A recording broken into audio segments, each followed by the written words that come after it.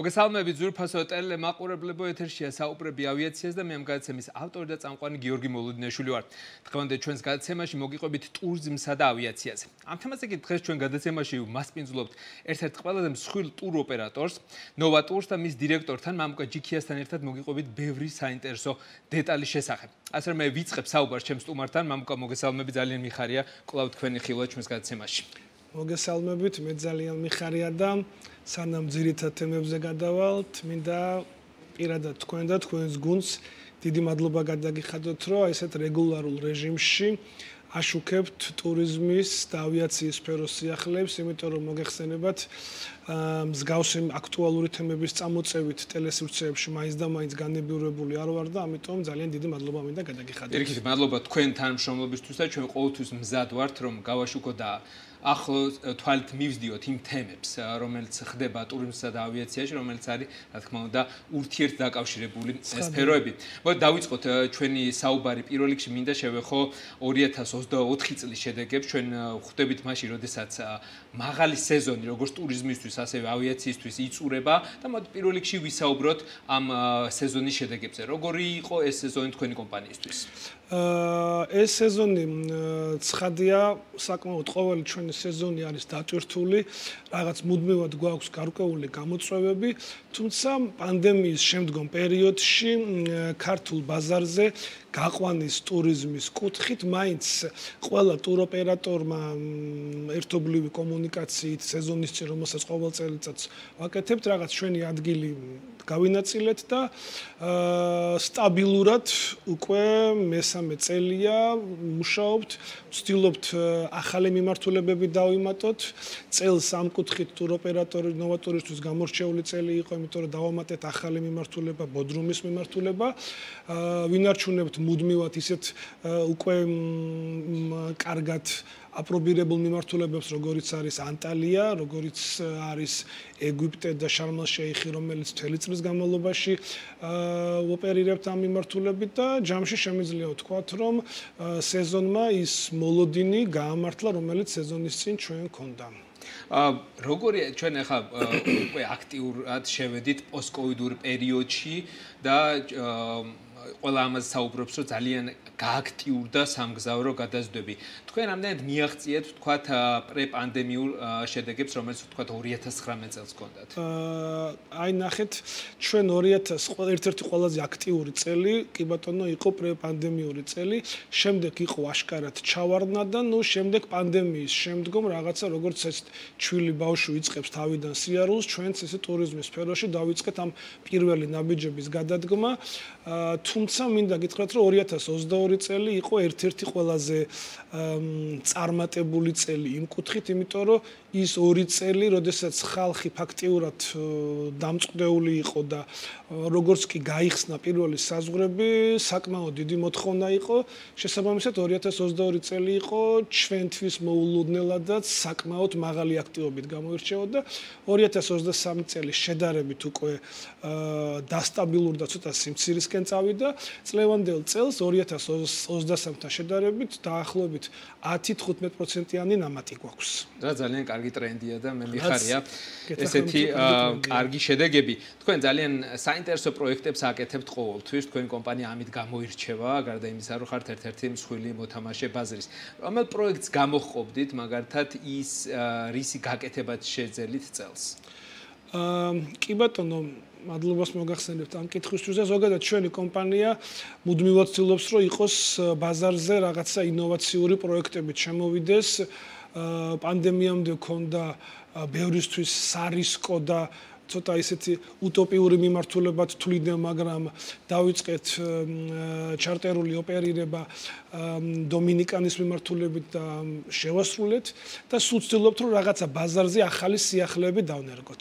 წლევანდელი წელი არც სამხრივ ყოფილა გამონაკლისი და წელს ჩვენმა კომპანიამ 26 ივნისიდან დაიწყო პირდაპირ ფრენები ბოდრუმის მიმართულებით. ბოდრუმი ეს შემიძლია დავარქვა რაღაცა თითქოს ოდნავ მივიწყებული, მაგრამ ყოველთვის საყვარელი კურორტი იყო ეგეოსის მიმართულებით.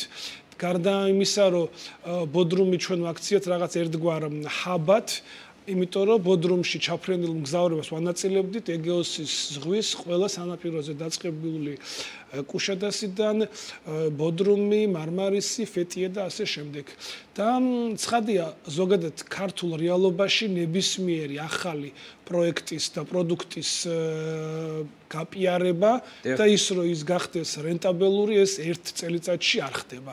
თუმცა ჩვენ ამისთვის მზად ვიყავით და ჩვენ იმდენად გუჯეროდა ამ მიმართულების რომ მიუხედავად იმისა რომ სტარტი ცოტა მძიმე იყო, ჯამში ცხადია ეს პროექტი მივიყვანეთ ბოლომდე და ამის ერთ-ერთი განმაპირობებელი ფაქტორი იყო ის რომ აი ნაკადი რომელიც მიფრინავდა ბოდრუმში და ბრუნდებოდა შემდეგ მათთან უკუკავშირი გვაძლევდა იმის ენთუზიაზმს იმიტომ რომ აბსოლუტურად 99% ყველა იყო კმაყოფილი წელსაც ყავდა მგზავრები რომლებიც პირველ რეიზზე გაფრინდნენ და შემდეგ აგვისტოს ბოლოს სექტემბერში ისევ გაიმეორეს მოგზაურობა ბოდრომის მიმართულებით და ამიტომ განვიხილავთ რომ მომავალ წელსაც შესაძლოა ეს მიმართულება შევინარჩუნოთ და ქართულ მომხმარებლებს ისევ მიუცეთ იმის შესაძლებლობა რომ ეგეოსის ზღვის ამ ულამაზესი კურორტით იმოკურორტი მოგზაურონ და დატკბიდან ამ მოგზაურობთ. ეს კიდე ერთ-ერთი დამადასტურებელია ეს წარმატება იმისა, რომ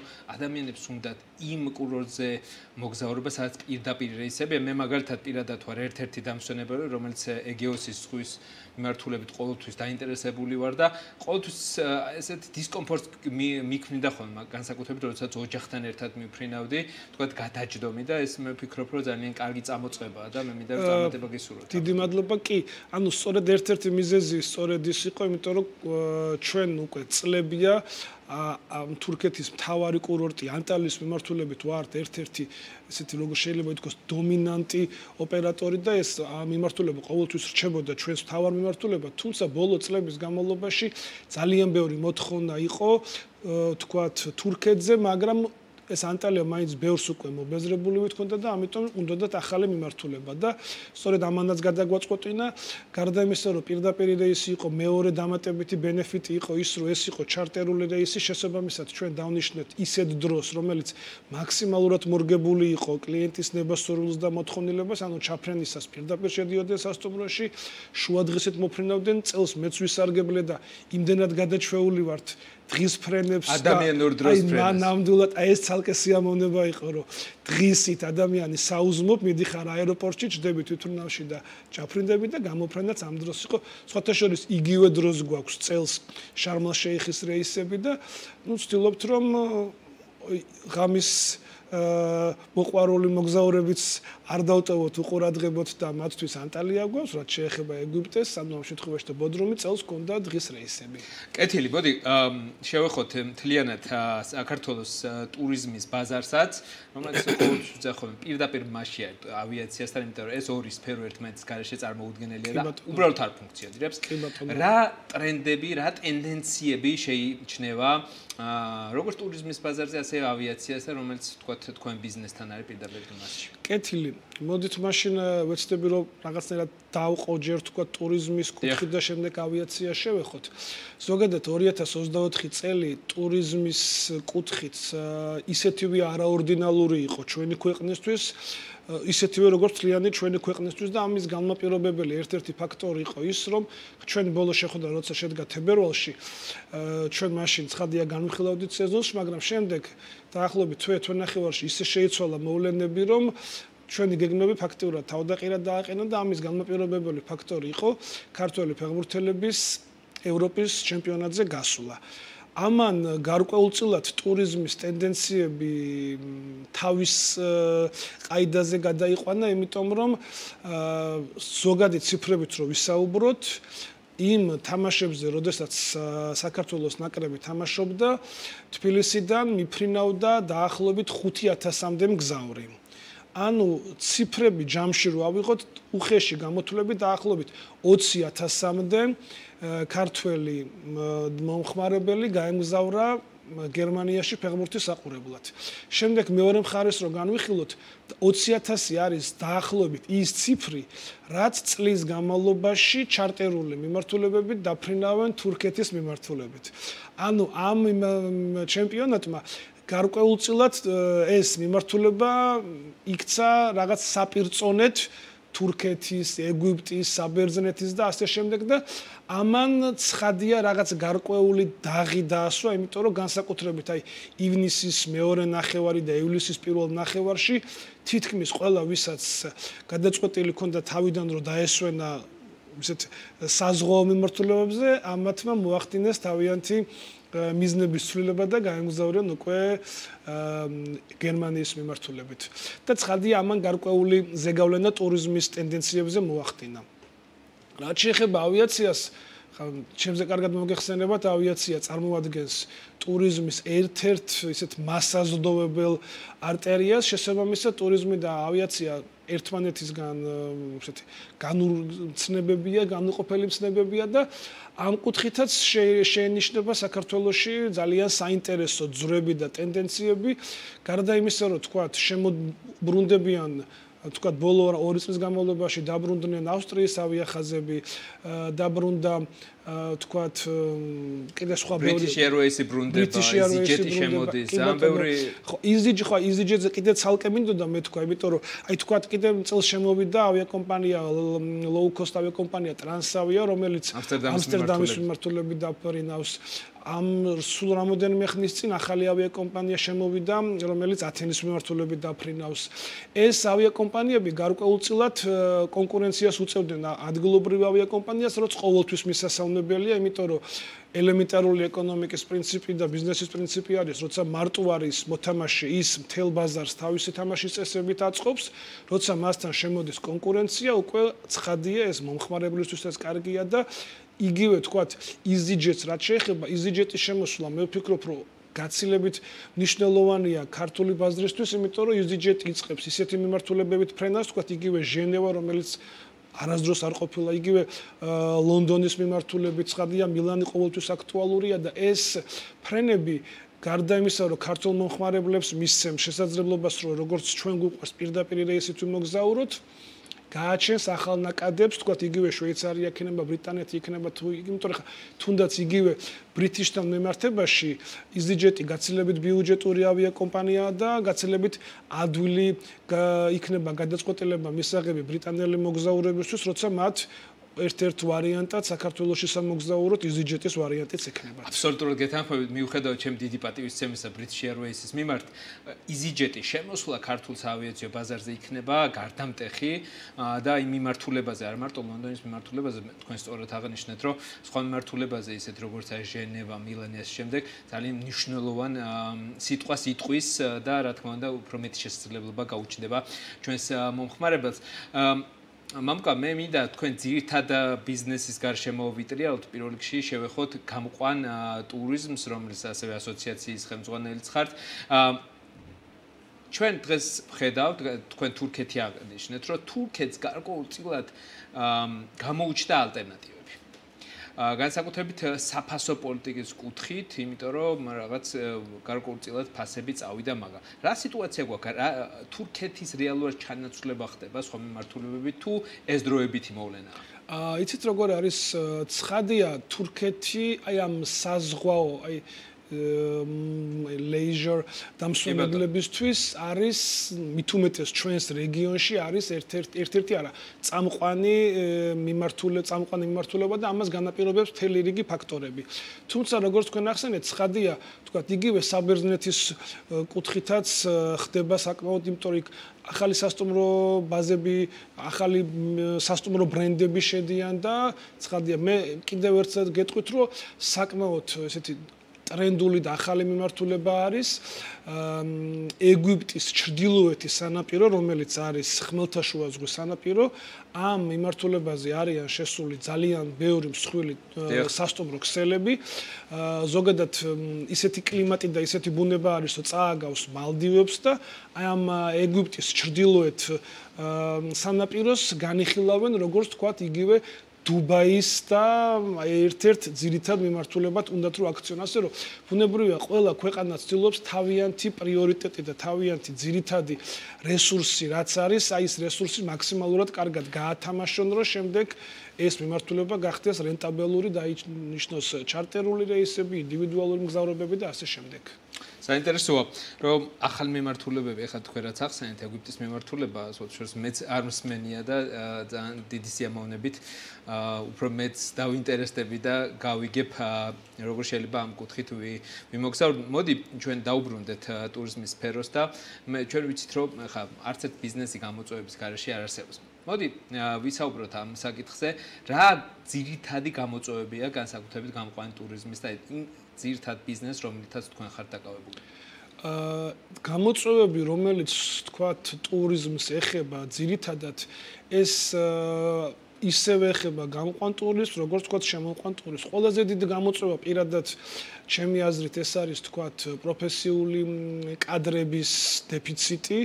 იმიტომ რომ იხსნება ბევრი ტურისტული სააგენტო, თქვათ იხსნება ბევრი განთავსების საშუალება და სასტუმროები, მაგრამ აი ყველგან ძირითადი პრობლემა არის განთავსების კვალიფიციური კადრები და ეს დაკავშირებულია იმაზე, რომ თქვათ უნივერსიტეტები იქნება თუ რაღაცა კერძო ტრეინინგ ცენტრები, რომლებიც რაღაც 1000 გვარ სხვადასხვა მიმართულების ტრეინინგებს ამზადებენ, ისინი ვერ ახერხებენ პრაქტიკული უნარჩვევების და იმ მოთხოვნილებით გამოზარდონ და მისცენ ცოდნა, თქვა სტუდენტები იქნებიან თუ დამსწრეები, რომელიც რეალურად ტურიზმს ჭირდება და ამიტომაც ეს არის ერთ-ერთი მთავარი გამოწვევა. მეორე გამოწვევას მე ვიტყოდი, რომ ფასების, ну, რაღაც მით უმეტეს ეს უკვე ეხება შიდა შემოყვანი ტურიზმის კუთხით, როდესაც თქვათ სასტუმროები იქნება, რესტორნები იქნება თუ აი ყველა ის კომპონენტი, რომელიც ჯამში ქმნის ტურიზმის რაღაც საერთო კმაყოფილებას ფასები აი რაღაც რადიკალურად, კარდინალურად და რაღაც ძალიან ძალიან ზრდა არის, თუნდაც ახ ელემენტარული რამოდენიმე დღის წინ თურქეთიდან ჩამოფრინდი და აეროპორტში, როცა თურქეთის აეროპორტში წყალი ჯდება დოლარი და 20 ცენტი, ჩვენს აეროპორტში ჯდება 8 ლარი და 10 ლარი და 12 ლარი, ну და ეს არ არის მარტო წყალზე ცხადი, ეს არის ყველა იმ კომპონენტზე, რომელიც ჩართულია ტურიზმის მომსახურების სფეროში. ხო, მაგასაკუთრებით ამ ბოლო დროს ძალიან ხშირად ვიგებ ჩემ მეგობრებისგან, ვინც ახლა უცხოელები ჩაბმდნენ საქართველოში, სასტუმროების კუთხით ჩვენ საკმაოდ მაღალ საფასო კატეგორიაში თამაშობთ თუნდაც თქვა 3 და 4 ვარსკვლავიანი სასტუმროები, რაც მე ვფიქრობ, რომ ეს საკმაოდ მნიშვნელოვანი პრობლემა, რაზეც ჩვენ გავამახვილოთ ყურადღება. და აი ესეც ერთ-ერთი თუ რატო ხდება ეს, ამის ერთ-ერთი გამსაზღვრელი ფაქტორი არის კიდე ის გამოწვევა, აი მესამე გამოწვევას დავარქმევდი, რასაც ქვია სეზონურობა. ჩვენ რო ავიღოთ ამ შემთხვევაში საქართველოსში შემოყვანი ტურიზმის კუთხით არის მკვეთრად გამოსახული სეზონურობა. თქვა თუ აპრილიდან სექტემბერი, ოქტომბრის ბოლომდე სასტუმროების, სატრანსფერო კომპანიები და გიდები ასე შემდეგ ყველა არის დატვირთული, თქვათ შემდეგ უკვე ზამთრის პერიოდში ფაქტიურად ან 20-25%-იანი დატვირთვა აქვს, თან საერთოდ უქმად არიან და ის მე ვფიქრობ, რომ თუნდაც თქვათ აი ჩვენი ტურიზმის ადმინისტრაციის ერთ-ერთი პრიორიტეტი უნდა იყოს, რომ ეს სეზონურობა რაღაცნაირად დაბალანსდეს. ჩვენ როდესაც ბოლო შევხვდით, ვისაუბრეთ იმ საკანონმდებლო ინიციატივაზე, რომელიც საქართველოს ტურიზმის სფეროში მუშავდება და რა სტატუსი აქვს დღეს ამ საკანონმდებლო ინიციატივას, იმიტომ რომ თქვენ მაინდამაინც ოპტიმისტურად ვერ იყავით განწყობილი ამ საკანონმდებლო ცვლილებასთან. ექსტრა ჩვენი ბოლო კომუნიკაციის შემდეგ ფაქტიურად უკვე საკანონმდებლო განხილვა ამ მიმართულებით დასრულებული იყო. იყო თუ არ ვთქვი ჩანიშნული მესამე მოსმენა, რომელსაც უფრო რაღაც ესეთ გრამატიკული შესწორებების დატვირთვა აქვს და სიმართლე გითხრათ, იმის შემდეგ არანაირი გამოხმაურება და არანაირი უკუკავშირი ჩვენ ამ მიმართულებით არ ვქონია და რაღაცა ჩვენ იმეც ვიტოვებთ, რომ თუნდაც რაღაც უახლოეს მომავალში რაღაცა ისე შეიცვლება, რომ ეს ახალი მიღებული კანონი რაღაცნაირად ისე დაკორექტირდება, რომ ეს ხელახალ გამოწვევად არ გაჩნდება ქართული ტურიზმის სექტორისთვის. აა თუ გადავხედავთ როგორც ტურიზმის ასე ავიაციის სფეროს, ყველა კომპანია, ეს იქნება ტურისტული კომპანია, ეს იქნება ავიაკომპანია თუ ასე შემდეგ, ძალიან აქტიურად მუშაობენ, რომ ტექნოლოგიურად განვითარდეს ესა თუ ის კომპანია. აა შემოდის ძალიან აქტიურად ყველა სფეროში, მათ შორის ავიაციაში და ტურიზმში, ხელოვნური ინტელექტის კომპონენტი. როგორია დღეს ქართული კომპანიების განვითარების დონე ტექნოლოგიურად და მე ვიცი რომ თქვენი კომპანია საკმაოდ აქტიურად მუშაობს ტექნოლოგიური განვითარების პროექტზე. მან მოგვიყევით ამის შესახებ. აა ჩემე გამიჭirdება სხვა კომპანიებზე საუბარი ამ მიმართულებით მე შემიძლია უშუალოდ ტურ ოპერატორი ნოვატურის კუთხით ვისაუბრო, რომელიც ზოგადად ისედაც წარმოადგენს მაქსიმალურად მომხმარებლისთვის მარტივ ონლაინ პლატფორმას, თუმცა ამ ეტაპზე ჩვენი ჩვენი ქართველი პროგრამისტების ჯგუფი მუშაობს ახალ პლატფორმაზე. ცხადია დაგეთანხმებით, რომ დღესდღეობით ტურიზმი და ავიაცია ტექნოლოგიური ამ წიაღსულაში და თუფეხი არა უწყვეტ გამორიცხული ამ მიმართულებით განვითარება. შესაბამისად, ტურიზმის სფეროში როგორც ესეთი ნოვატური წარმოადგენს არა მარტო თქვათ განთავსების საშუალების მიმწოდებელს ან ავიაციის კუთხე წარმოადგენს რაღაც კომპლექსურ პლატფორმას და სწორედ აი ამ პლატფორმის შემუშავებაზე ვართ ახლა ჩვენ მისული. როგორც მოგეხსენებათ, იგივე საასტუმროების კუთხით, ავიაციის კუთხით არის არაერთი მომწოდებელი, ეგრეთ წოდებული კონსოლიდარული კონსოლიდატორი კომპანიები, რომლებიც ფართო მიმოქცევაში უშვებენ ფასებს. შესაბამისად, ჩვენი ჯგუფი მუშაობს იმისთვის, რომ შეიქმნას ერთიანი პლატფორმა, რომელიც ამას ყველაფერს ერთად დააკავშირებს და შემდეგ სწორედ აიგივე ხელოვნური ინტელექტის საშუალებით მოხდება ამ ფასების დახარისხება და მოხდება ყველაზე ოპტიმალური და ყველაზე დაბალი ფასის მიწოდება მომხმარებელზე. თუ ჩვენ ამ ეტაპზე ეს პრინციპი დამუშავებული გვაქვს, თქვათ, ანტალიის, ბოდრუმის და შარმალ-შეიხის მიმართულებით, ეხლა სწორედ იმ მიმართულებაზე მუშაობთ, რომ აი ეს worldwide მთელი ეს ქსელი ჩაერთოს და უკვე შესაძლებლობა გქონდეს ქართულ მომხმარებელს, რომ ყველა მიმართულებით მოახერხოს ერთი ერთი ღილაკის დაჭერით ამ ტურების შეძენა და აპრილში, მაისში ვაპირებთ ამ პროექტის პრეზენტაციას ჩვენს პარტნიორებთან და იმდენად გუჯერა ამ მიმართულების, რომ იმედი გვაქვს, რომ შემდეგ საქართველოსი პროდუქტიული დატესტვის შემდეგ ამ მიმართულებით უკვე სხვა ქვეყნებშიც შევალთ.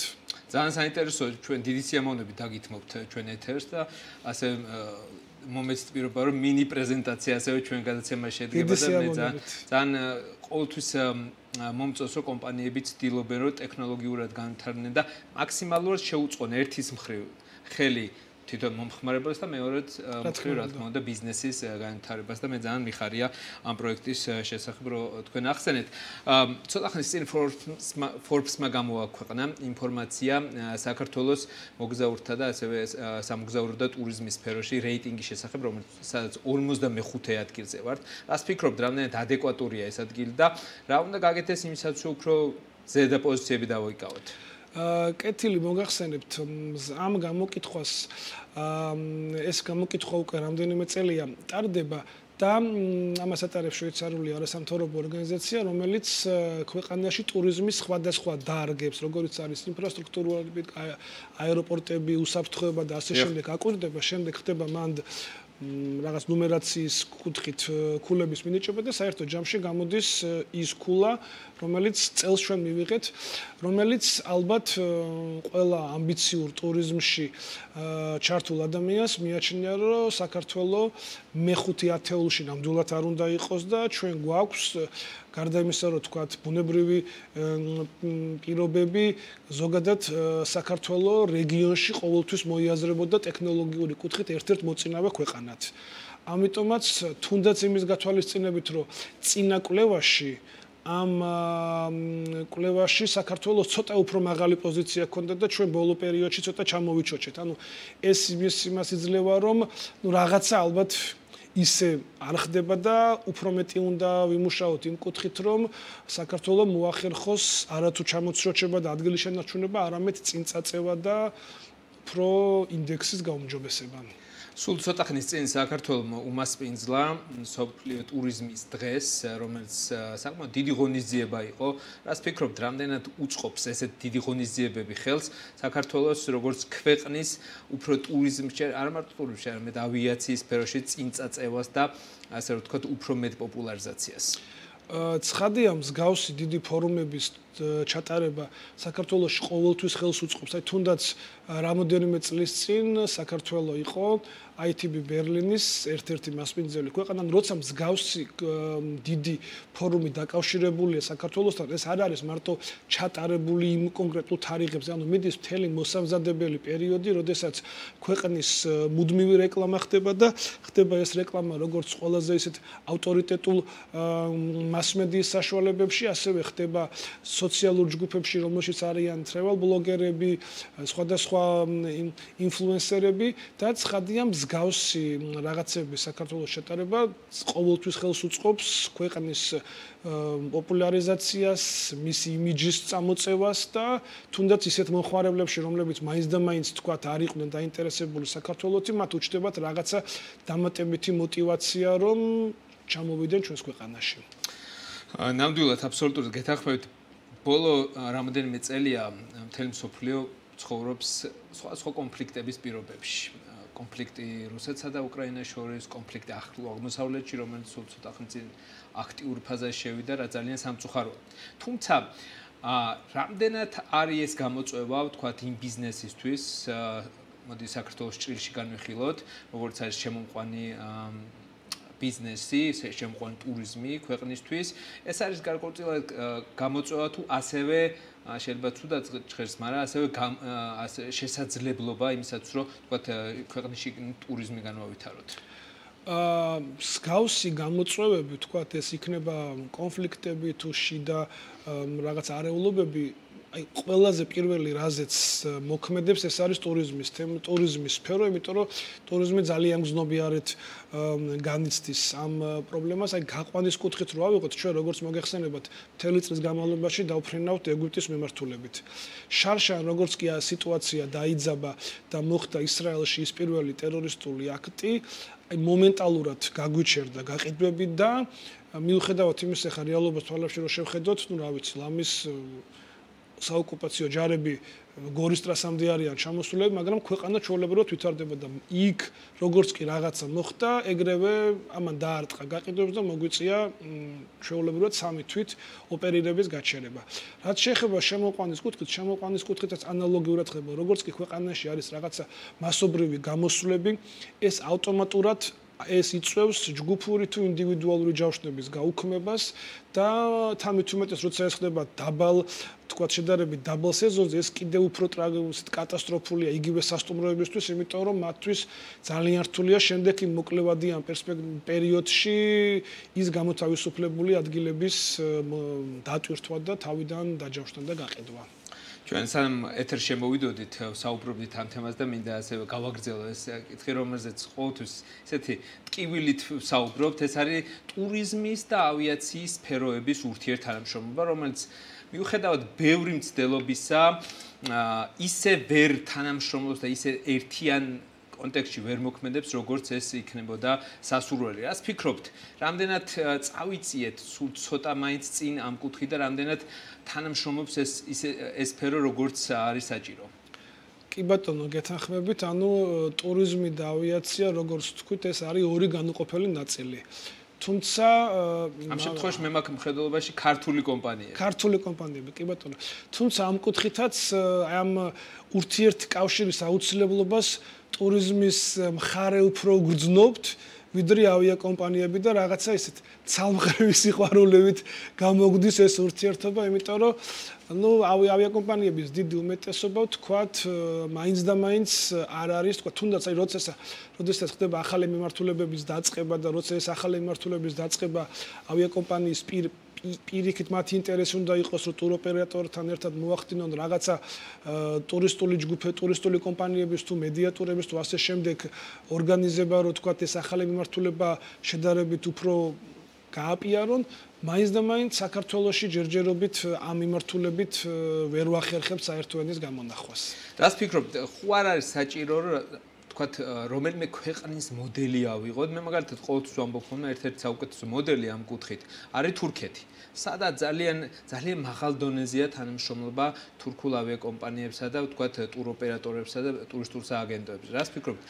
და ხო არ არის საჭირო ასევე რომ თქვათ მესამე მხარე ამ შემთხვევაში ჩაერთოს საჯარო სექტორი, რომელიც გარკვეულწილად არბიტრირს როლს შეასრულებს ყოველთვის ამ პროცესში. Ну ყველაზე ცუდი თემა არის ის რომ როგორც ვთქვით ტურიზმი და ავიაცია ეს პარტნიორულ დონეზე კომპანიებში რომ მანდ საარბიტრო გვიჩდება ეს უკვე წარმოაჩენს იმას რომ რაღაცა ჩვენთან ისე კარგად არ ვითარდება როგორც უნდა იყოს. რაც შეეხება თურქეთს თურქეთი არა მარტო ავიაციის კუთხით.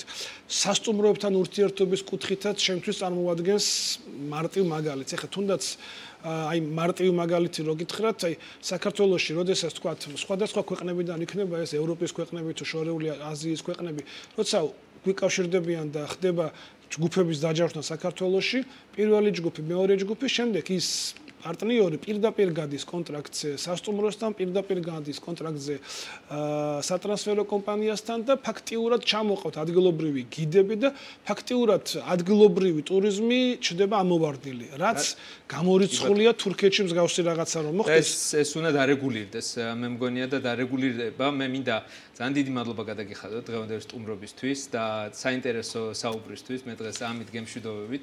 ასეთი იყო საქმიანი მამუკა ჯიქია, კომპანია ნოვატურის დირექტორი და ასეთი იყო დღევანდელი გადაცემა საუბრები ავიაციაზე მე მომავალ შეხვედრამდე გემშვიდობებით ნახვამდის